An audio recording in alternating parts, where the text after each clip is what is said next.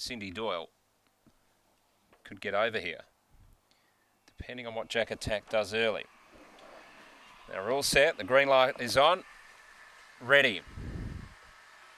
Racing. Jack Attack a bit slow. Cindy Doyle's flying across. Quick Sandy's trying to hold it out, but there goes Cindy Doyle. Sprints to the lead. Jack Attack got into trouble. It went to get to the outside, but had a heavy bump with West on Sadie. Forget the favourite. Into the back. Cindy Doyle leads by three and a half. Quick Sandy giving chase. Five lengths away. My Dream. Want to be on the leader though, and they're well clear of West on Sadie. Jack Attack, and then Bionic Polly. Cindy Doyle's well out in front though from Quick Sandy, running on My Dream the outside, and then came West on Sadie, but Cindy Doyle won by three and a half. Second home, My Dream, three quarters, Quick Sandy, and two and a half to West on Sadie, who ran fourth.